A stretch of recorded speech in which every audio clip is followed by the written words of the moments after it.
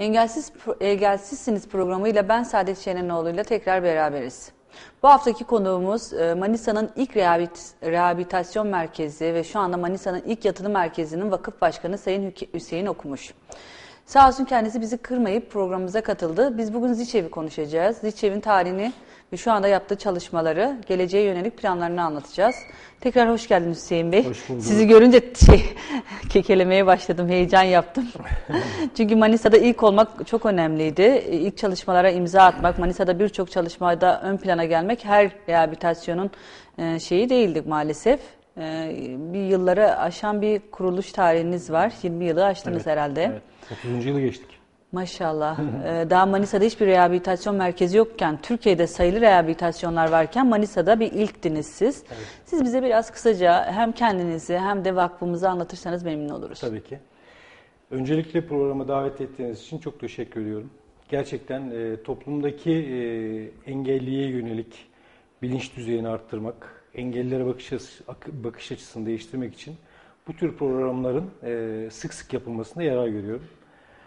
Şimdi Ziçev e, belki Manisalı vatandaşlarımız e, çoğu Ziçev'i tanıyor fakat e, işleyişinde şekilde olduğunu gerçekten bilmiyorlar. Çünkü engel grupları içerisinde en çok yoğun ilgiye sahip olan ve en çok ilgiye ihtiyaç duyulan kesim zihinsel engelliler. Evet. Ee, Ben buradan e, diğer engelli gruptaki arkadaşları da e, kesinlikle şey yapmak istemiyorum. Mesela bedensel engellilerin de mutlaka kendilerine göre bir sıkıntıları vardır. Ee, Görme engellilerin de mutlaka kendilerine göre bir sıkıntıları vardır. İşitme engellilerin de. Fakat zihinsel engellilere yani zihinsel engelli çocuklarımız diğer engel grupları arasında en dezavantajlı konumdalar. Maalesef. Bunu e, antiparantez belirtmek istiyorum. Şimdi Ziçev e, 1982 yılında vakıf haline geldi. Aslında Ziçev'in kuruluşu 1960'lı yıllara dayanıyor. Yani Ziçev'in e, tarihine baktığımızda bir 50 yılın üzerinde bir geçmişimiz var. Manisa 1982 Evet, yanılmıyorsam. 1988 Manisa. Evet. E, 50'li yıllarda e, Demir Ölçen diye bir çocuğumuz dünyaya geliyor. Down sendromlu. Aile Makbule Ölçen, e, baba Ali Necat Ölçen, eski milletvekillerinden. Ee, işte e, zihin engelli çocukların farkındalık yaratmak amacıyla bir dernek faaliyetiyle bu iş başlıyor. Daha sonra e, yıl 1982 yılına geldiğinde artık vakıflaşalım, e, vakıf kuralım.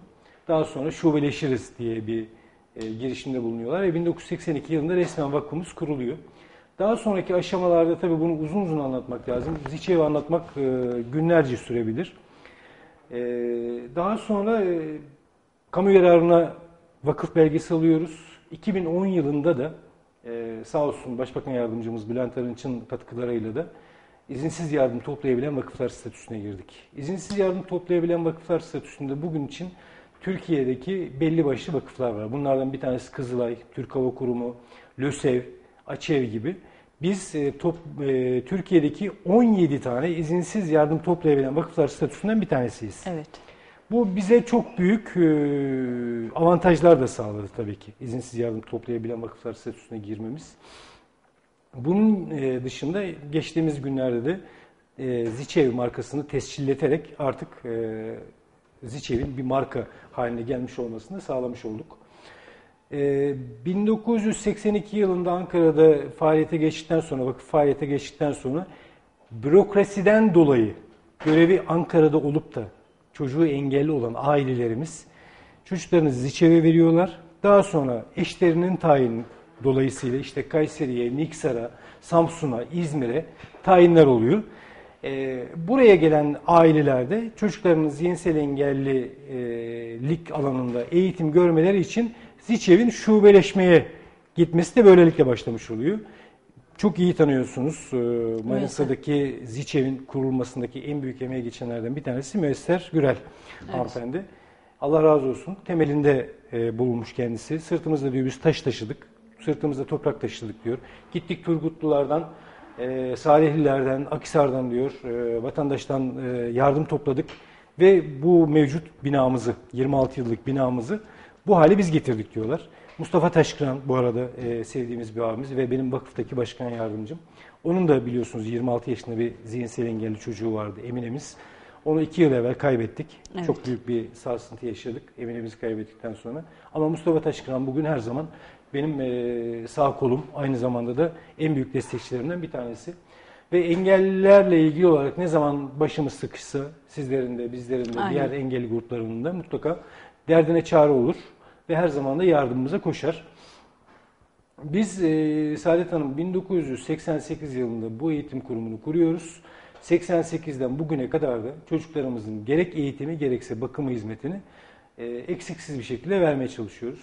Bizim e, vakıf olmanın e, en büyük avantajlarından bir tanesi şu, aslında bizim için dezavantaj ama vatandaş için büyük bir avantaj. Ben de bir zihinsel engelli çocuk sahibiyim. Sizler de zihinsel engelli e, bir e, iki çocuk annesisiniz. Burada e, Ziçev'in e, eğitime ve bakıma vermiş olduğu katkıyı yatsımamak lazım. Çünkü biliyorsunuz 2005 yılından sonra çıkan engeller yasası, eskiden özürler yasasıydı. Evet. Şimdi engeller, e, özürlü ifadesini artık kaldırdık, engel e, ifadesini koyduk. Engeller yasasıyla birlikte bizim çocuklarımız arka odada kalan çocuk olmaktan çıkıp toplum içerisine kaynaştırılan bir çocuk e, şeyine geldi, e, hüviyetine geldiler. Bizim çocuklarımız eskiden e, sokaklarda bu kadar engelli çocuk göremezdiniz. Maalesef evet. Özellikle de zihin engelli çocuklar hep arka odalarda saklanırdı. Bir misafir geldiği zaman insan içine çıkarılmazdı. Ee, ve o evde zihin engelli çocuğun olup olmadığı da bilinmezdi. Ama şimdi çok şükür göğsümüzü gere gere benim bu çocuk arkada bu çocuk benim diyorum. E, ister kabul edin ister kabul etmeyin. Ben misafirliğe de gidiyorum. Misafirim de geliyor. E, lokantaya da gidiyorum. E, sosyal yaşam alanlarında ne varsa her yere gidiyorum. Çocuğumu da her yere götürüyorum. Ben utanmıyorum. Onlar da utanmasınlar. Yani biz utanılacak bir şey yapmıyoruz. Bizim engelli olmamız bizim utanılacağımız değil. Bu Allah vergisi de olabilir diyoruz. E, sağlıktan dolayı işte hemşire hatası olabiliyor.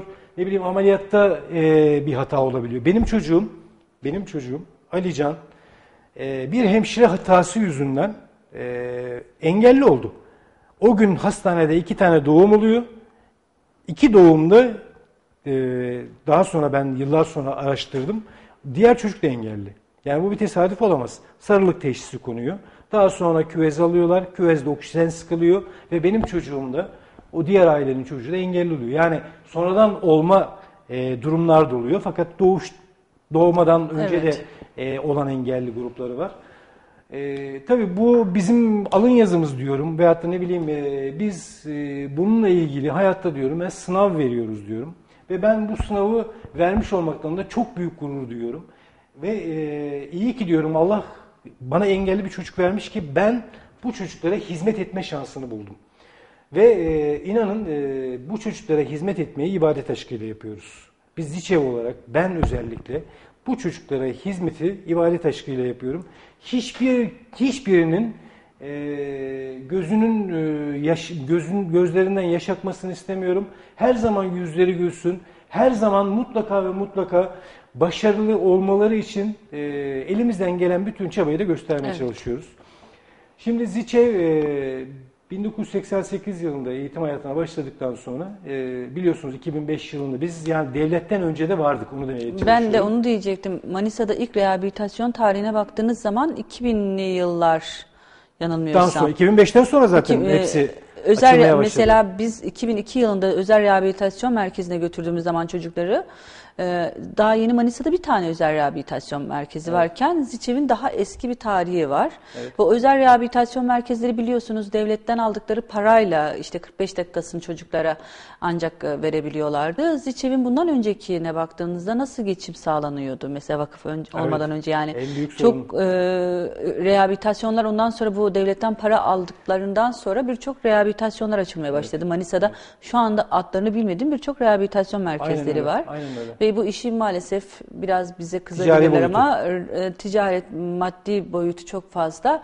E, Ziçev o dönemlerde nasıl ayakta kalıyordu? Siz o dönemleri de bilen bir velisiniz Evet, e, geçmişinde. biz e, o dönemlerde işte devletten önce olduğumuz dönemlerde sağ olsun o zamanki başkanların hakkını yani nasıl ödemek lazım bilmiyorum. Belediye Gerçekten İşte belediye başkanımızdan gidiyorlardı, rica ediyorlardı. İl Özel İdaresi'nden gidip rica ediyorlardı. Sürekli kermes düzenliyorlardı. Ge- ge- ne bileyim geziler düzenliyorlardı, yemekler düzenliyorlardı ve personelin maaşını gelen e, gelirle ödemeye çalışıyorlardı. Ailelerin herhangi bir katkısı yoktu. Fakat 2005 yılından sonra çıkan yasa gereği işte devlet dedi ki ilk etapta 10 saatti, daha sonra şimdi 12 saate çıkardı. Ayda bir zihinsel engelli çocuğa 12 saat eğitim veriyorsun ve bunun karşılığında devletten 560-570 lira para alıyorsun. Ama bu ayda 12 saatle, bugün temel eğitimde normal bir Süreklilik. çocuğu ayda e, haftada 30 saat eğitim veriyorsun. E, çocuğa bizim e, engelli çocuğumuza ayda 12 saat eğitim veriyorsun. Asıl eğitim alması gereken çocuklar bizim çocuklarımız. Fakat maalesef e, burada e, bir takım yanlışlıklar var. Bunu artık uzun uzun konuşmak lazım. Özel eğitimde eğitim saatinin artırılması lazım. Kaliteli eğitimcilerin yetiştirilmesi için biz bunu geçenlerde Sayın Rektörümüze de belirttik. Özellikle Manisa'daki üniversitelerin bir tanesinde zihinsel engellilere eğitim verecek e, okulun olması lazım. Evet. Bir fakültenin açılması lazım. Çünkü bu alanda e, yetişmiş eleman sayısı çok az. Siz de bu işin Biz de bunun yıllardır Bunu mücadelesini veriyoruz, Yani evet. Zihinsel engelli çocuklarımıza eğitim verecek olan personel bulmakta bir zorluk çekiyoruz. Maalesef. Bugün kurumumuzda dört tane zihinsel engeller öğretmeni var. Eğer bunlardan bir tanesinin ayrılması durumunda biz yerine dolduracak eleman bulmakta çok büyük zorluk çekiyoruz. Ama bu sayı ne kadar çok artarsa, üniversiteler bu konuda daha çok e, öğrenci yetiştirmeye başlarlarsa biz o kadar rahat edeceğiz. Hem bizim maliyetimiz düşecek hem de bu çocuklar daha iyi koşullarda ve daha bilinçli kişiler tarafından eğitim almış olacaklar. Ee, tabii ki bu 12 saate karşılık verilen eğitimle bizim ayda 160 saat verdiğimiz hizmet e, bunun bedeli ödenmez. Gerçekten 12 saat nerede, 160 saat Evet. nerede? Bu tabii ki bize, vakıf olarak bize çok büyük külfetler getiriyor. Nedir? İşte yemek sorunu çıkıyor, nakliye sorunu çıkıyor, daha fazla elektrik yakıyorum, daha fazla kalorifer yakıyorum, daha fazla demirbaşı ve mefruşata ihtiyacım oluyor ve daha fazla bakıcıya ve eğiticiye ihtiyacım oluyor. Ee, Allah razı olsun bugüne kadar Manisa'daki hangi kapıyı çalsak boş çıkmadık. Ee, güzel şeyler oldu. Manisa'da duyarlı insanlarımız da var. Ee, onlardan e, destek almaya başladık. Sağ olsun e, yemeğimizi Büyükşehir Belediyesi karşılıyor. Nakliye konusunda da e, Şehzadeler Belediyesi ve Yunus Emre Belediyesi'ne çok büyük destekler aldık. Yani nakliye sorunumuz da büyük ölçüde çözüldü sayılır. Bizim e, tek eksiğimiz dediğim gibi e, eğitim kalitesini artıracak eğitici sayısının olmaması. Bu konuda da artık e, rektörümüze de belirttik. E, bu konuda bize e, ya, yani yardımcı olurlarsa bu sadece bizim için değil, buradan e, yetişecek olan öğrenciler sadece Manisa'da değil, devlet şeyin e, memleketin değişik yerlerinde de hizmette bulunurlar. Evet. Bu engelli sadece Manisa'da yok. Bütün Türkiye'nin her tarafında engel grubu var. Oradaki hizmeti de e, orada devam ettirecekler. Yani o yüzden e, eğitici kalitesinin ve eğitici standartlarının mutlaka artırılmasına yarar var diye düşünüyorum. Biz e, bu arada e, tabii ki bizim 30 yıllık rüyamızdı. 1982 yılı- yılında kurulduk. Şu an 32. yılımızı doldurmuş bulunuyoruz. Bizim 32 yıllık rüyamız bizden sonra bu aileler ne olacak kaygısıydı. Evet. Ve e, geçtiğimiz e, iki yıl içerisinde e, Sayın yine Başbakan Yardımcımız Bülent Arınç'ın vasıtasıyla Allah razı olsun e, Vakıfbank bizim halimizden anladı. Onların biliyorsunuz sloganları halden anlayanlar. Bizim halimizden anladı ve bize e, yaklaşık 2,5 trilyon lira maliyetle bir yatılı bakım evi inşa etti. Şu an 10 tane çocuğumuz var yatılı bakım evinde kalan. Bunların e, yaklaşık 6 tanesi kız, 4 tanesi erkek olmak üzere 10 tane çocuğumuz var. E, bu çocuklar sabahtan akşama kadar yani 24 saat boyunca bizim gözetimimizde bakıcısıyla, hemşiresiyle, işte müdürüyle, idare personeliyle, aşçısıyla biz kendilerine gerçekten 5 yıldızlı otel konforunda hizmet vermeye çalışıyoruz. E, zaten e, bu programdan sonra büyük bir ihtimalle Manisa'da eğer bizi izleyen e, aileler varsa ve zihinsel engelli çocukları varsa ben öldükten sonra bu çocuk ne olacak kaygısı taşıyorlarsa mutlaka bizimle irtibata geçsinler. Evet. Eğer buradan yayınlama imkanı varsa ben telefon e, tabii, numarasını var. da vermek istiyorum.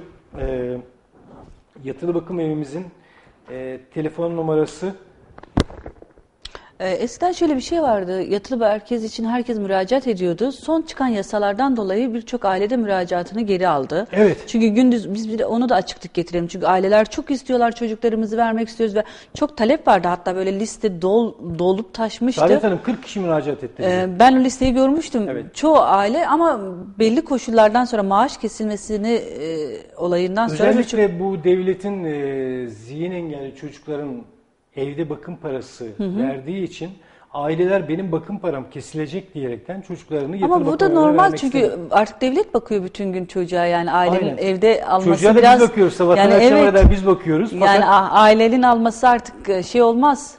Yani bunu işte en büyük yanlışlardan bir tanesi de bu. Yani onu e, devlet e, şu şekilde yapması lazım. Eğer bir vakıfta tam gün esasıyla bakılıyorsa bu çocuk bu gelirin yarısını vakıfa yarısını da aileye vermesi lazım. Fakat dediğim gibi aylık işte 800 lira ile 1000 lira arasındaki geliri vatandaş vatandaşımız e, onu bir gelir olarak görüyor. Ben onunla geçiniyorum diyor. O Evet. yüzden çocuğumu şu an veremem diyor. Ben bu arada yatılı bakım Evet. telefon numarasını Buyurun. vermek istiyorum. 0530 772 51 88.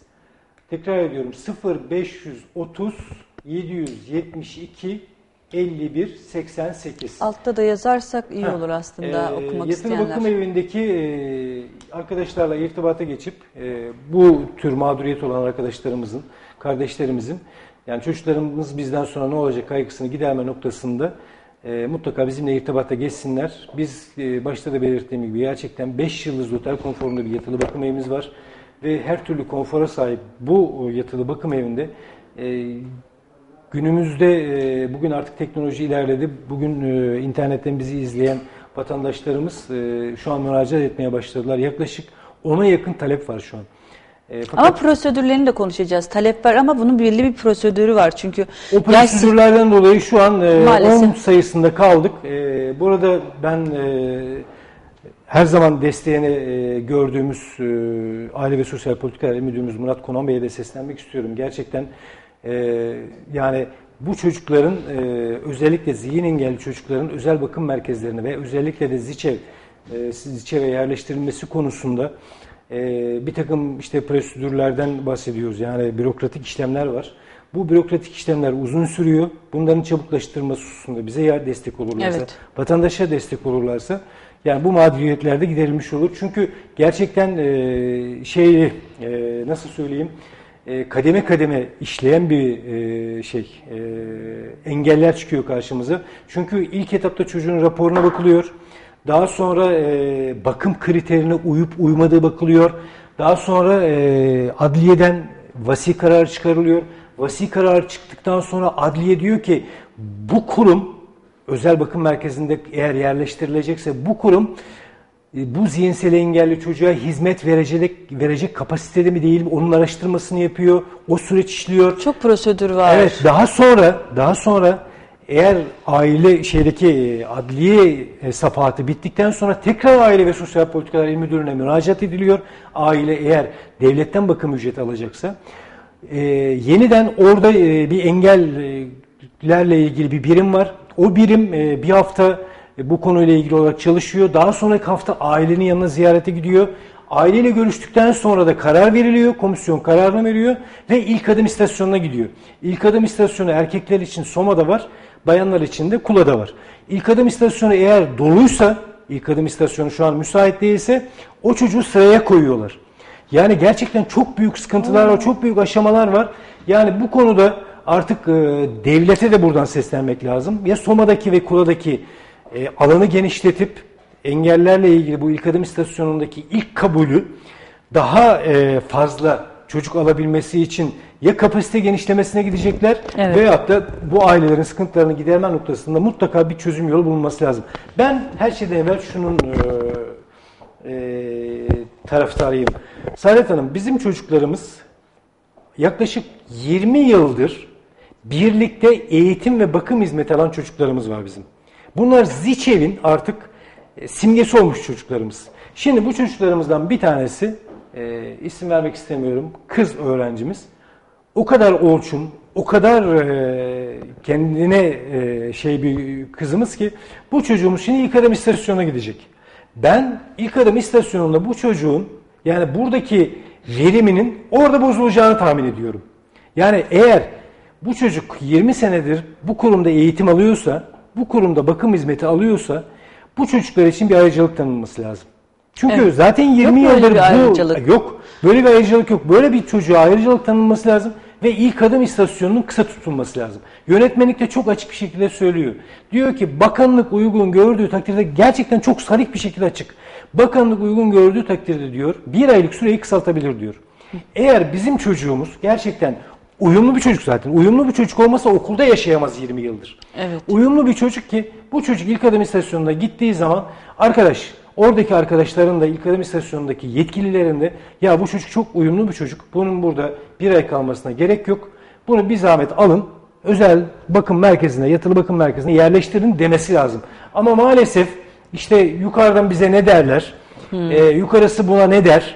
Ee, ya işte bu çocuğa torpil mi yapıyorsun veya da bu kuruma torpil mi yapıyorsun gibi çekinceler taşıyor oradaki yöneticiler. Evet. Ama bu çekince değil. Kesinlikle Şimdi benim anladığım değil. kadarıyla size başvuranlar ilk başta ilk adım istasyonundan geçmeleri lazım. Aynen, Erkek ya da bayan ona göre İşte kulayı dediğim o taşımak. safahatlerden Orada bir ay sonra- bekletiyorlar mı? Bir ay. Yani. Bir ay süreyle o çocuk yani bizde 20 yıldır uyum halinde diğer arkadaşları birlikte projelere katılmış, ne bileyim NZB projesine katılmış, Avrupa Birliği projelerine katılmış ve atölyede bizim biliyorsunuz atölyemizde e, orada üreten bir çocuk galoş üretiyor veyahut da farklı e, projelerde e, üretim yapıyorlar. Bu çocuk bir ay süreyle Soma'ya veya Kula'ya gidecek. O ilk adım istasyonda kalacak. İnanın Orada kalan çocuklarımızın tümü mü öyle yapıldı? nerede? Şu anda yatılıda kalanlara. Yok, ücretli olanlar ilk adım Ha. istasyonuna gitmiyor. Ücretini aile tarafından ödeyen aileler, e, yani kendileri ödeyen Bu aileler, kızımızın herhalde ücretsiz olduğu için ücretsiz orada olduğu için şimdi bu çocuğumuzu oraya götürmek Aa, zorundayız. çok yani gerçekten e, şartları zorlaştırmışlar. aynen öyleyse. şartları çok zorlaştırmışlar. Tabii bunun e, yararlı olduğu kadar işte bu tür dezavantajlar da var. Mesela yararlarından bir tanesi çocuğun tanınması açısından. Mesela ilk defa çocukla karşılaştık. Çocuk bize bakım merkezi olarak geldi, bak, yatılı bakım merkezine, aile olarak yerleştirmek istedi. Ee, çocuğu tanımıyoruz. Çocuğun davranışları nedir? Ne bileyim, Evet. e, yani davranış bozukluğu var mı? Hırçınlığı var mı? Saldırganlığı var mı? Bunları bilmiyoruz. Ha bu konuda tamam ilk adım istasyonunda gidebilir. Çünkü ilk adım istasyonunda sürekli çocukla ilgili rapor tutuluyor. Günlük yaşam becerileri nelerdir? E, gün içerisinde neler yapıyor? Agresifliği var mı? Nöbeti var mı? Ne bileyim yemesi nasıl? içmesi nasıl? İşte tuvaletini kendisi giderebiliyor mu? Ne bileyim diğer e, özel iht- ihtiyaçlarını kendisi giderebiliyor mu? Giderebiliyor mu gibi. Bunlar orada gözetim altında alınsın. Çünkü rapor halinde bunlar tekrar il müdürlüğüne geliyor. İşte çocuğun şöyle agresifliği var, şöyle olumlu tarafı var, bu şekilde negatif tarafı var. Bu iyi. Ama ben diyorum ki benim çocuğum, yani Evet. bizim Ziçev'deki çocuk. çocuk 20 yıldır burada. Biz biz verelim raporunu. Yani bu çocukla ilgili raporu biz verelim. Ee, il müdürlüğü de bunu araştırsın. Yani aileden araştırsın veya sağdan soldan araştırsın. Bu çocuk hakikaten böyle mi? Bu verilen rapor doğrultusunda mı hareket ediyor deyip e, bizim eğitimcilerimiz de artık bunu yalan söyleyecek halleri yok. Bu gö- şey doğrultusunda, rapor doğrultusunda da e, En çocuklarımızın azından Zişev çocuklarımıza bir öncelik yapılması Aynen, lazım. Çünkü aynen, o çocuklar artık aynen. yıllardır gitsin, kurum ben gitmesin demiyorum. kurumda İki gün, oldukları gün, için, bir evet. hafta gitsin. Oradaki arkadaşlar zaten çocuktaki farkı görecekler. Yani oradaki kalan çocuklarla bizim çocuğumuz arasındaki farkı görecekler. Ve diyecekler ki arkadaş bu çocuğun burada kalmasına gerek yok. Bu çocuk burada kalırsa kötüye iyiye giden çocuk kötü olur gibilerden düşünüp bunu e, Herhalde tek kızınız şu anda ücret, devlet tarafından yönlendirilen. Çünkü diğerleri şu an de bizde tek. Evet. Tek ama e, şu En ana çok kadar sorun yaşattı o. e, Evet, e, şu ana kadar da e, yaklaşık 10 tane müracaat var. Bunların içerisinde 5 tane kız çocuğumuz var ki bu kız çocuklarının çoğu da şeye gidecek, ilk adım istasyonuna gidecek. Yani ücreti devlet tarafından ödenecek olan e, zihin engelli çocuklarımızın ilk adım istasyonuna gitmesi şart. Mesela ben de diyorum ki bunu e, kısa tutalım. Yani Evet. Ziçev çocukları için kısa tutalım. Hiç olmasa diyorum bu çocuklar da orada mağdur olmasınlar. Aile de mağdur olmasın, bu çocuklar da mağdur olmasın. Yani diyorum. geri dönüşü olmayan sebepler de olabilir. Çünkü çocuk öfke nöbetleri artabilir. Aynen. Değişik bir ortam Aynen, çocuklarımız aynen. hemen uyum Yani burada iyi olan çocuk orada bozulabilir. Yani böyle bir şey de var. Yani ihtimal de var yani. Biz bu ihtimali göz önünde bulundurarak işte müdürümüze de rica ettik. İnşallah o da gereken neyse yaparız Hüseyin Bey dedi. Onu e, gerekli arkadaşlarla görüşürüz dedi. Ben buradan Murat Bey'e de tekrar saygılarımı sunuyorum. Evet, İnşallah. Manisa'da tek değil herhalde bu yatılı merkezleri Ziçev'in hangi şüphelerinde var şu anda Türkiye'de? Ziçev'in yatılı merkezi sadece genel merkezimizde var. Ankara'da. Diğer 14 şubemizden en e, başta Manis- biz açtık. E, bunun da gururunu yaşıyoruz. Ne İlk mutlu, evet. olmanın gururunu yaşıyoruz. E, ben gerçekten çok çok mutluyum. Böyle bir tesisi Manisa'ya kazandırdığım için. İnşallah diyorum e, bizden sonra bayrağı devre, devralacak olan kişiler de bunu layıkıyla yürütürler. İnşallah. Ve çocuklarımızın, ailelerinin bizden sonra ne olacak kaygısı giderme noktasında. Sormamın nedeni şu onlar acaba böyle prosedürlerle karşılaştığında diğer şubelerimiz neler yapmışlar diye merak ettik Yok, biz. diğer Olmadığı için yok, olmadı. herhalde bütün yükü siz kaldıracaksınız. Aynen, bütün aynen. düzeni kuracaksınız. Ondan sonra gelenler Rahat herhalde edecek. sizi sizin düzeniniz doğrultusunda hareket edecekler. Ee, Ben buradan şunu da e, hem sorup hem konuşmak istiyorum. Ziçev'e bakış açısı var Manisa'da. Ee, Çünkü bütün engel gruplarıyla bir arada olan bir okul. Hiçbir engel grubunu ayırt etmeden hepsine eğitim vermeye çalışılıyor Ziçev'de. Tabii ki onun için yaş gruplarına da ayırt edilmiyor. Tabii ağırları, hafifleri olduğu için Manisa'da bir algı oluşturulmuştu. Biz e, anneler olarak o algıyı yenmeye çalıştık. İşte e, iyi çocuklarımız da var, bizim çocuklarımız da orada. O bakış açısını nasıl değiştirebiliriz? Yani biz referans oluyorduk birbirimize ama o algı Manisa'da maalesef vardı. Vallahi ama şöyle son- açıdan düşünmüyorlardı. Yani Manisa'nın tek rehabilitasyonuydu, e, vakıftı, her türlü engel grubuna kucak açmış diye düşünmediler hiç kimse. Şimdi e, ben de e, şahit oldum sizin dediğinize ama şu son yıllarda diyebilirim ki bir 5 yıl Evet. öncesine göre e, bu O algı algı değiş- değişti. İşte Bu değişti. algı Biz değişti. değiştirmeye çalışıyoruz. Sağ olun sizin Ee, 12 oldu. 13 senedir mesela biz engelli bu Manisa'da benim ikinci rehabilitasyon değiştirmem herhalde. Gittim rehabilitasyonlarla kıyaslama yapıyorsun. Buradaki eğitimi, tüm gün eğitimi ve oradaki aile ortamı diğerlerine göre maalesef e, kesinlikle hiç tartışma bile girilmez. Biz ama içine giren veliler olarak bunlara şahitiz. Evet. Giremeyenler, dışarıdan gözlemleyenler farklı bir algıyla yaklaşabiliyorlar. Şimdi e, dediğim gibi 5 yıl öncesine göreki algı ile şimdiki algı arasında çok büyük Evet. fark var. Saadet Hanım ben size bir şey anlatacağım. E, bunu e, sevgili Manisalılara anlatmaktan da çok büyük gurur duyuyorum. Bizim çok ağır bir engelli çocuğumuz vardı. Sağ olsun bizim e, bireysel eğitimci arkadaşlar kendi aralarında bir e, eğitim programı uygulamaya başladılar. Bu eğitim programı çünkü çocuk sabahtan akşama kadar bizde. Aslında o çocuk, o çocuk gün içerisinde sadece 2 saat eğitim hakkı var. Yani devletin bana vermiş olduğu para karşılığında ben o çocuğa sadece 2 saat eğitim vermem lazım.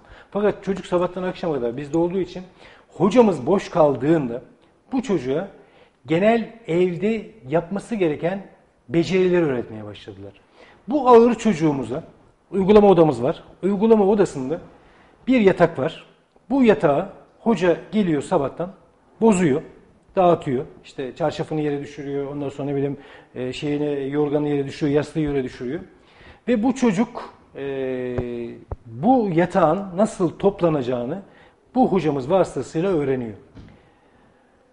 Eve gidiyor. Aynı şekilde sabahleyin kalktığında kendi yatağını kendisi topluyor. Bunu öğrettik biz. Ve çok büyük başarıyla da e, uygulamaya başladık. Aileden bize çok olumlu tepki geldi ki aile kendi çocuğunun ne kadar ağır olduğunu biliyor. Ve aile bize teşekkür etti. Ya dedi arkadaşlar dedi ya bu işte ismini şu an söylemek istemiyorum. Çocuğumuz e, evde yatağını toplamaya başladı. Ne yaptınız siz bu çocuğa, çocuğa dedi. Biz de e, aileyi çağırdık. Bakın dedik böyle böyle yapıyoruz. Siz de bunu yapın. Çünkü gerçekten bizim verdiğimiz eğitimle sınırlı kalmaması lazım bu işin. Ailenin de aynı eğitimi devam ettirmesi lazım. Ve inanın o günden bugüne çocuk her gün sabah kalktığında yatağına aynı askerde olduğu gibi e, şeylerini kıvırıyor, e, ne o, e, nevresimlerini kıvırıyor, yatağını dümdüz yapıyor ve odadan öyle çıkıyor. Bunun yanında yine bir kız çocuğumuz çok ağırdı. Gerçekten çok ağırdı. Hiç komut almıyordu. Ve bu eğitimcilerimiz sayesinde bu ağır çocuğumuz, bu ağır çocuğumuz o aynı uygulama odasında elektrik süpürgesi tutmayı öğretti öğretmenlerimiz. Yatak toplamayı ve elektrik süpürgesi tutmayı öğrettiler. Bu kız evde yattığı yerden annesinden babasından su isteyen çocuk şimdi kendi suyunu kendisi kalkıp kendisi içiyor ve arada bir de mesela elektrik su annesi elektrik süpürgesi tutarken gidip yanına sen ver onu ben tutacağım gibilerden elektrik süpürgesi tutmaya başlamış. Ve bu aile aynı şekilde şaşkınlık içerisinde bize telefon açtı. Kendisini davet ettik. Dedik böyle böyle bir uygulama yerimiz var. Biz bu çocuğa elektrik tutmayı öğrettik dedik. Ve bu çocuk evde şu an elektrik tutuyor. E, şey, elektrik süpürgesi tutuyor. Yani e, bizim çocuklarımız eğitilemeyecek. Bizim çocuklarımız bir şey bilmiyor manası çıkarmamak lazım. Aslında eğitildikten sonra bizim hiç komut almayan çocuklarımız bile komut almaya başladı. Biz ondan zaten yanayız. Yıllardır Aynen e, yine tekrar e, çok ağır engelli, hakikaten çok ağır engelli bir çocuğumuz.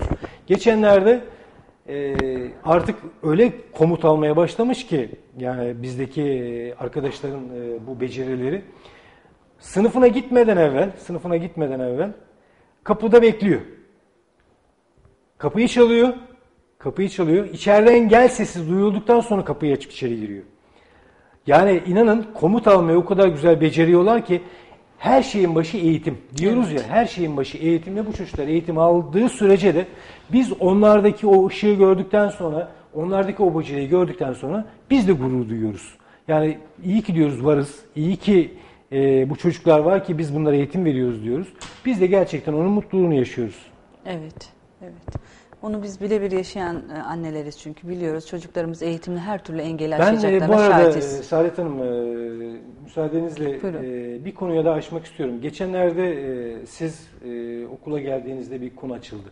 Bu bizim en büyük zihinsel engelli çocuklarımızın ailelerin en büyük kaygılarından bir tanesi de e, Manisa'da e, misafirhane konusu Evet. e, var. E, bilmiyorum bu konuyu açmış olmak e, Açmamız lazım mı? zaten sizinle konuşmamız lazım bu konuyu. Şimdi bu konu çok önemli. Evet. Misafirhane konusu çok önemli. Özellikle yatılı bakım evlerinde müsa- misafirhane konusu çok önemli. Ya bunu apayrı bir bina e, bünyesinde yapacağız veyahut da mevcut Ziçev'deki kapasiteyi kullanarak e, ailelerin hiç olmazsa bir günlük, iki günlük, üç günlük sıkıntılarını giderme noktasında bizim yardımcı olmamız lazım. Ama bunun da gerek il müdürlüğü, gerek valilik, gerekse işte belediyelerimiz vasıtasıyla veyahut da ne bileyim e, hayırsever, hayır- hayırsever vatandaşlarımız vasıtasıyla da bu bilinç düzeyini yükseltip bunun ne kadar gerekli olduğunu anlatmamız lazım. Şimdi ben Şimdi dediniz kısa bir mola verelim. Peki. İkinci yarıda biz bu misafirhaneyi daha detaylı bir şekilde konuşalım. Kısa bir aradan sonra kaldığımız yere tüm hızıyla devam edeceğiz.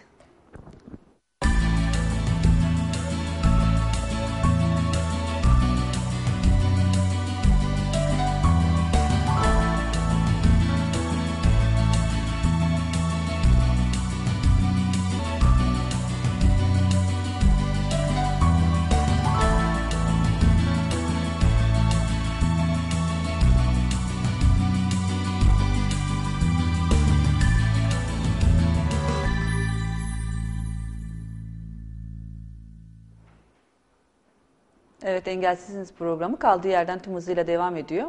İlk yarımızda biz misafirhane konusunu konuşmuştuk. Aslında Manisa'nın en büyük sıkıntısı bizim en büyük ihtiyacımız da misafirhaneydi.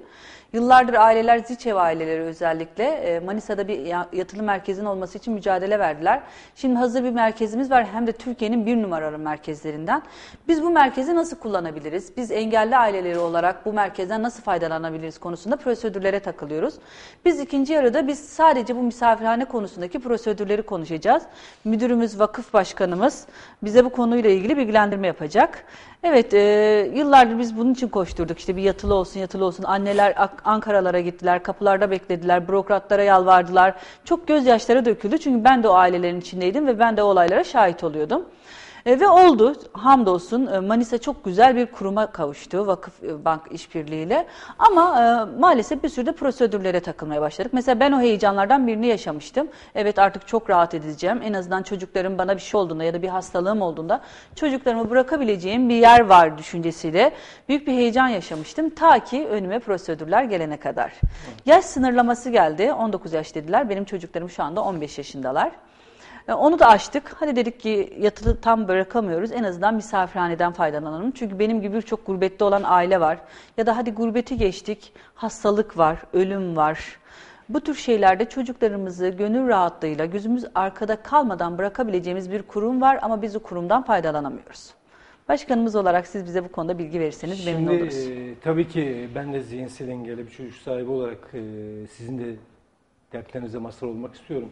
E, zaten e, programın birinci bölümdeki programın e, bitişinde bu konuyu açmak istedim.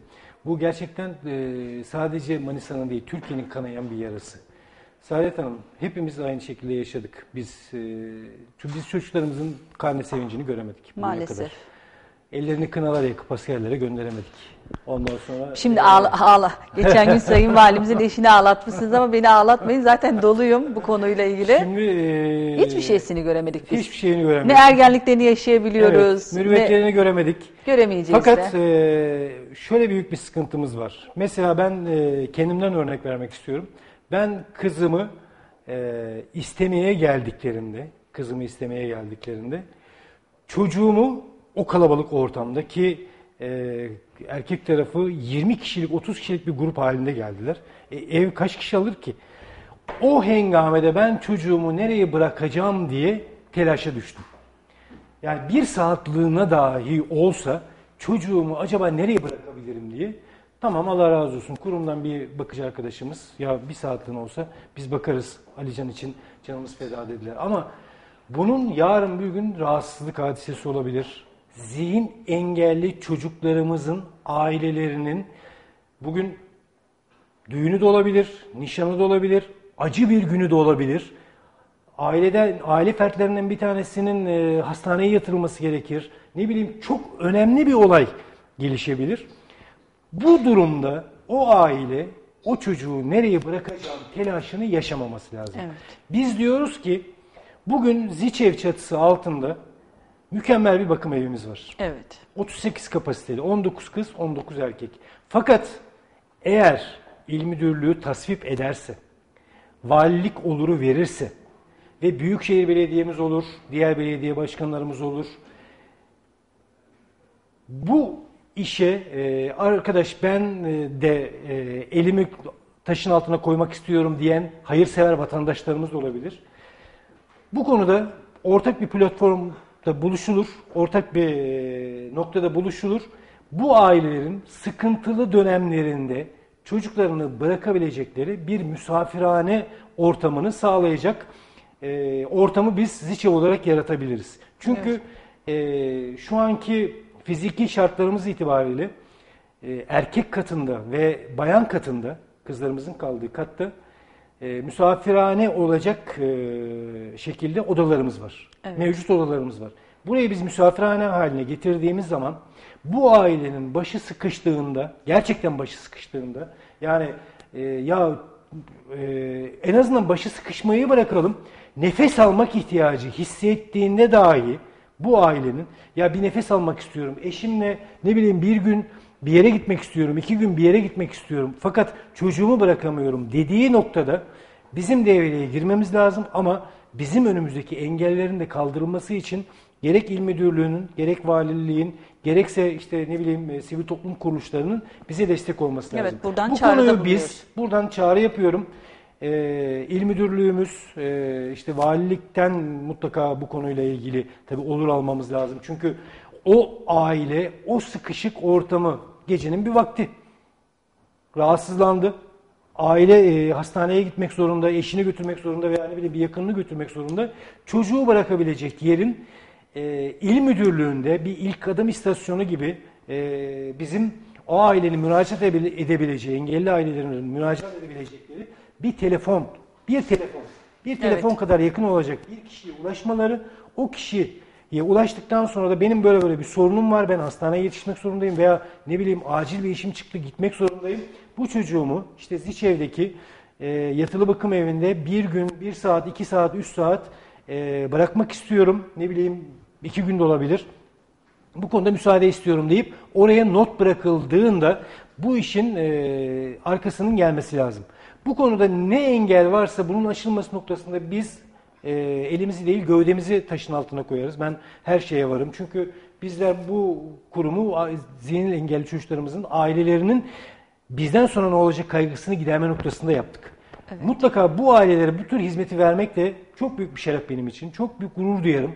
Ee, yeter ki aileler nefes alsın. Yeter ki aileler bilsinler ki yarın bir gün başına bir şey geldiklerinde e, mutlaka e, böyle yerleştirebilecekleri e, veyahut da ne bileyim e, orada konaklayabilecekleri bir yer olduğunu hissetsinler en azından. Ben e, bu konuda e, buradan gerçekten e, sivil toplum kuruluşlarına, il müdürümüze, e, Sayın Vali Bey'e işte bu konuda seslenmek istiyorum. İnşallah sesimizi duyarlar ve bu konuda bir açılım yapalım, oturalım, konuşalım. Neler yapabiliriz? Mutlaka bir orta yol bulunacaktır. Bizim en büyük ihtiyacımız bu. Yani ben şimdi düşünüyorum da yıllardır bizim mücadelemiz neden? Eğitim ve çocuklarımızın bizden sonraki ya da işte bu misafirhaneden faydalanabilmesi için yetkililerin kapısını yıllardır çaldık biz. Şahsım adıma ben öyle davrandım. Yıllardır işte çocuklarımıza eğitim ortamları olsun ya da benim çocuğumu rahatlıkla bırakabileceğim bir kurum olsun düşüncesiyle hep e, çalışmalarımıza imza attık. E, şöyle bir gerçek de var. Önceliği de Ziçev çocuklarına verilmesi daha mantıklı olur. Tabii. Çünkü neden? E, en azından personel onları tanıyor, ortam iyi çünkü çocuklarımız değişik bir ortama girdiklerinde tabii. öfke nöbetleri olabiliyor, alışma süreçleri ilk bölümde de dediğimiz gibi. Bunlarda en azından bir kolaylık yapılmaları bizim açımızdan çok iyi olacak ve ben bu konuda yetkililerin duyarsız kalacaklarına inanmıyorum. İnşallah. Yani yıllar İnşallah. bizim bu konuda ne kadar İnşallah. mücadele verdiğimizi onlar da şahitler. En azından biz hazırlamışsınız, siz o kadar emek harcamışsınız. Sadece o emeğe bir katkı da Evet, bulunacaklar. evet, yani evet, sizin evet. ayrıyeten istediğiniz bir şey yok aslında. Hayır, hayır, hayır. Yani o bina yapılmış, hazır, çok konforlu bir binamız var. Ee, her türlü ihtiyacı giderilmiş. Yani iğnesinden ipliğine hiç unutmuyorum sizleriniz iğnesine kadar düşünmüş Vakıfbank. Aynen, aynen. Hakikaten öyle. Ee, biz sadece diyoruz ki bize e, yasal prosedürlerde yanımızda olun belediye olarak e, burayı misafirhaneye çevirelim. Şimdi Saadet Hanım bakın ben e, burada bir e, şey göstermek istiyorum size. Bu Birleşmiş Milletler Engelliler Sözleşmesi'nden e, alınmış birkaç alıntı var burada. Evet. Biz Birleşmiş Milletler Engelliler Sözleşmesi'ne taraf devlet olarak imza atmışız. Demişiz ki burada yaklaşık 200'e yakın bir madde var. Bu maddeler sırf engellilerin hayat şartlarını e, düzenlemek ve engellilerin, ailelerin işte bizden sonra ne olacak kaygıları giderme noktasında. Bakın burada bir tane şey var. Diyor ki e, Engelli Hakları Sözleşmesi madde 23. Konuta ve aile hayatına saygı. Bu maddenin altına biz devlet olarak imza atmışız. Evet ben bunu engelli hakları sözleşmesinin altına imza attım ve böyle bir durumda ben bunu yerine getireceğim demişiz. Madde ne diyor? Saygı bölümünün 5. maddesi. Taraf devletler engelli çocuğun çekirdek ailesinin çocuğa bakamaması halinde çocuğa geniş anlamda aile üyeleri bunun mümkün olmadığı takdirde aile ortamını sağlayacak bir sosyal çevrede alternatif bakım sağlanması için her türlü çabayı göstermeyi taahhüt etmelidir. Evet. Evet. İmza İşte atmışız. imzalamışız. Biz demişiz ki çekirdek aile bakamıyor. Diğer aile fertleri de bakamıyor. O zaman diyor ki devlet imzaladığı e, sözleşmenin altında sosyal çevrede alternatif bakım sağlanması için alternatif bakım nedir? İşte biz kurumumuzu kurmuşuz. Yatılı bakım Ki evimizi yani bunu yapmışız. aslında devletin yapması gerekirken. Aynen. Bunu devletin yapması gerekir. Yani böyle bir durumda diyelim ki böyle bir durumda ben hep, hep aynı örneği veriyorum. Bizim Hadi çocuğumuz Gül ablamızı kaybettik. Maalesef. Gül ablamızın biz ölmeden evvel başımıza gelecekleri bildiğimiz için hemen vasi kararlarını aldık. Yerleştirme kararlarını aldık. Her şeyi baştan düşündük. Çocuğumuz dedik ki e, yarın bir gün Gül ablamıza bir şey olduğunda hiç olmazsa e, kalacak bir yeri olsun dedik. Evet. Ve biz bunların ba- önemini baştan aldık. Ve Gül ablamız Allah razı olsun dedi ki Allah sizden bin kere razı olsun dedi. Artık dedi, rahat rahat ölebilirim dedi. Şimdi e, biz bunu baştan düşündük. Peki bu ani de olabilirdi. Evet. Ani bir gelişme de olabilirdi. Aniden rahatsızlanabilirdi. Böyle bir durumda biz bu çocuğu ne yapacaktık? Benim çocuğu izinsiz oraya almam mümkün değil. Evet. İzinsiz almam mümkün değil. Başına bir şey geldiğinde devlet beni sorumlu tutacak. Al kelepçeyi tak. Sen kardeşim izinsiz bu çocuğu niye aldın? Burada nasıl barındırırsın gibilerden şeylerle karşılaşacaktım. Peki bu e, sözleşmenin altına imza atmışsın. Bu imzana, imzada ne diyor? Çekirdek aile ve diğer aile fertlerinin çocuğa bakamadığı durumda taraf devleti olarak ben bakarım demişsin. Alternatif e, sosyal çevrede alternatif bakım sağlanması için her türlü gayreti göstereceğim demişsin. Arkadaş burada hazır bir kurum var. Evet. Madem böyle bir kurum varsa bu hizmeti yapmak istiyorsan böyle bir durumda e, o gün e, bir ablamız ölebilirdi. Biz bu çocuğun daha bakım merkezine alınması ile ilgili vesayet şeylerini yapmamış olabilirdik. Benim bu çocuğu o evden alıp hemen bakım merkezine yerleştirebilmem için bana gerekli kolaylıklar sağlanması lazım. Aynı şekilde sizin de başınıza gelebilir. Evet. Hastalanabilirsiniz. şey Hastalanmadan olabilir. aniden de vefat edebiliriz. o Aynen, anda siz Ozan'la aynen. Oğuz'u alma yetkiniz maalesef Aynen, yok. aynen. İşte böyle bir Ama o saatlerle- Ozan'la Oğuz o evin içinde ne yaşıyor hmm, kimsenin umurunda olmayacak ondan aynen, sonra. Aynen. O yüzden biz bu çocuğu alabilmeliyiz ve daha sonra prosedür, bürokratik işlemler neyse ondan sonra takip etmeliyiz. Yani burada e, asıl amaç bir aileyi nefes aldırmak, iki ailenin en zor zamanında onun imdadına yetişmek.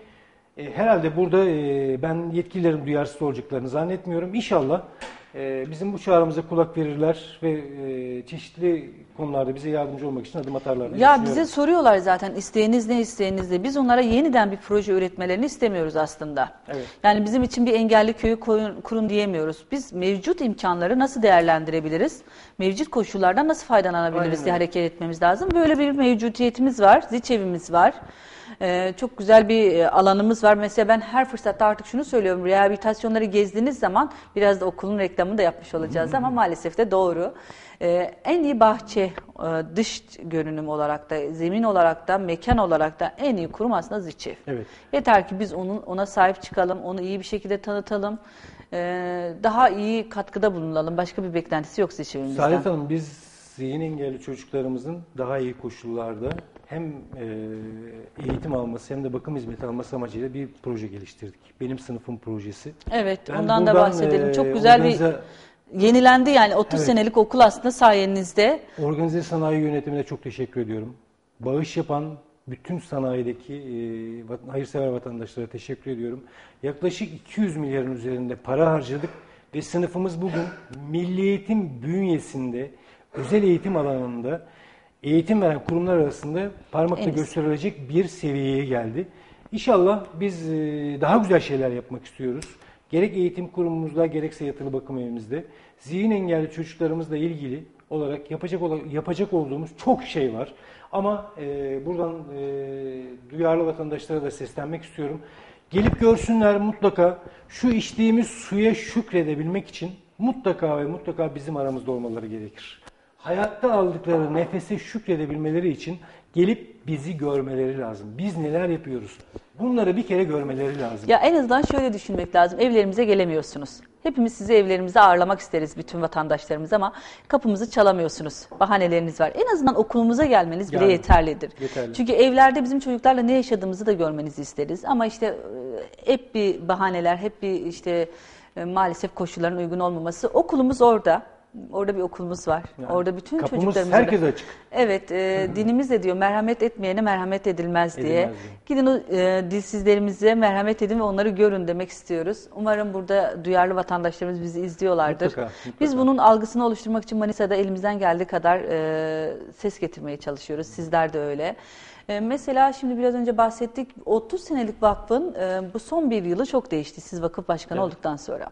Biraz da ondan bahsedin. Yani her sınıfa e, bir sanayicimizin, bir iş adamımızın eli değdi. Evet. O sınıf yenilendi. Çünkü zemin şey de önemliydi. Yani o, o öğretmenlerimizin çalışma alanlarının düzgün olması da çok Çok önemliydi. önemli. Gerçekten biz e, Rahat benim- koşullarda. Evet.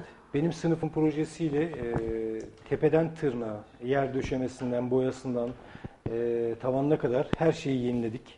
Allah razı olsun e, işte başta dediğim gibi organize sanayi yönetimi olmak üzere e, belediye başkanlarımızdan Allah razı olsun. Onlar da çok büyük katkıda sağladılar. E, 3 Aralık Dünya Engelliler Günü'nde e, Büyükşehir Belediye Başkanımız bizzat geldi. 3 Aralık Dünya Engelliler Günü'nde bizimle beraber oldu, bizimle beraber yemek yedi. E, kendisinden de spor salonumuzun yenilenmesiyle ilgili e, spor salonumuza yeni çocuklarımızın spor eğitimi almaları. Çünkü bizim için spor çok önemli. Evet. Hareketsiz çocuklarımız var. E, bu çocuklarımızın spor almaları ile ilgili olarak bazı e, alet edevatlar istedik. Kendileri de çok e, şeyle karşıladılar, memnuniyetle karşıladılar.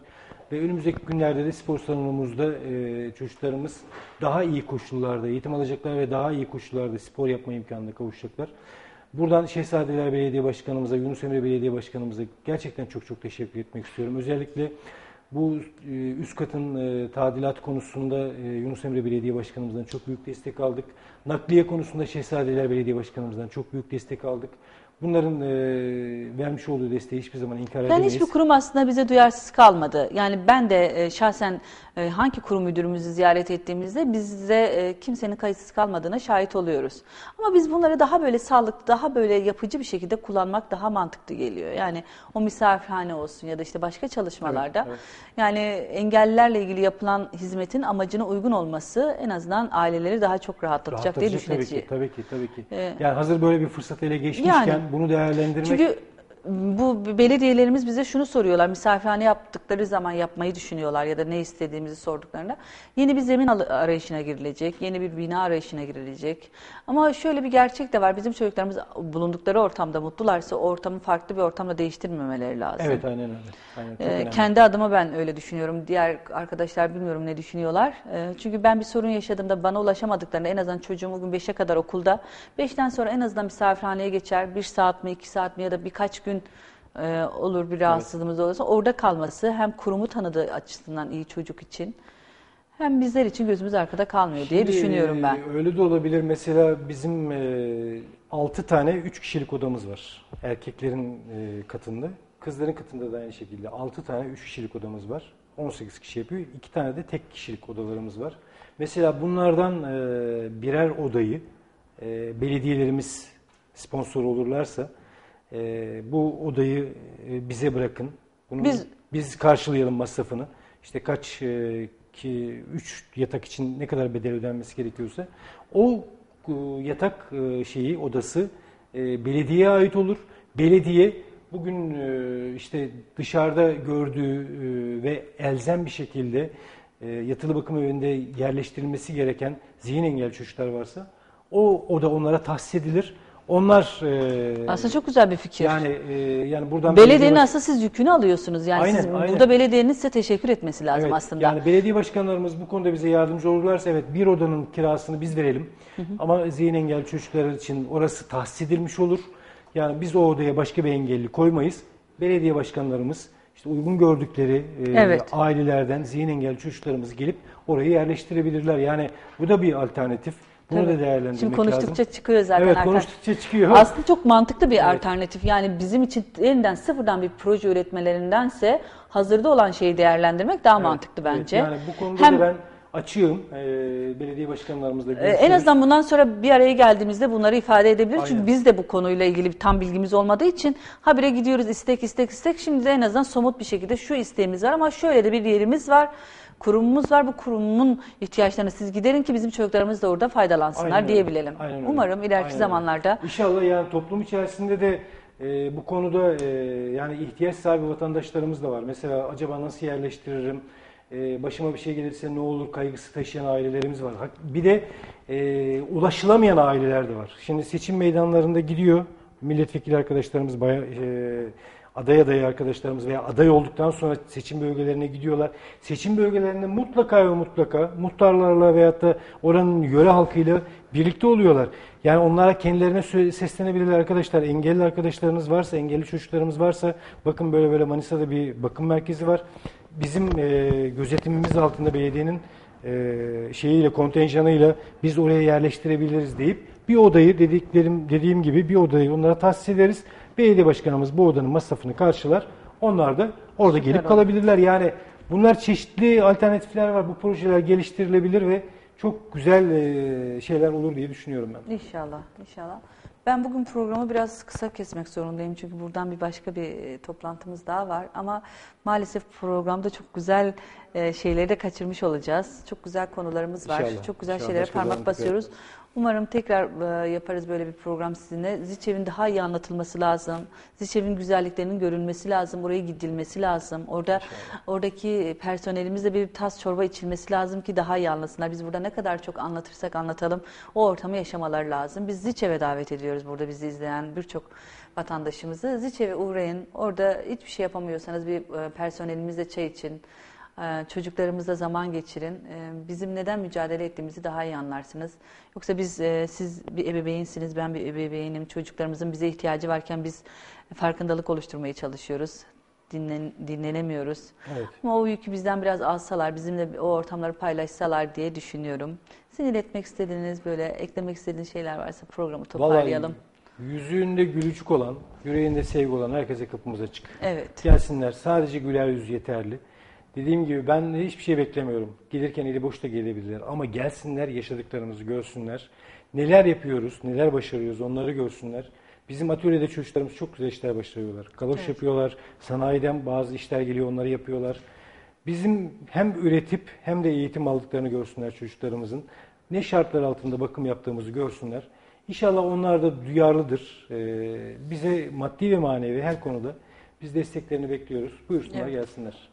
Teşekkür ediyorum. Programımıza geldiniz, bizi kırmadığınız için. Evet, Engelsizsiniz programı. Bu hafta da Ziçev'in tarihini konuştuk. Çalışmalarını ve projelerinden bahsettik. Önümüzdeki hafta yepyeni konu ve konuklarla tekrar karşınızda olacağız. Kendinize iyi bakın, esen kalın, engelsiz kalın.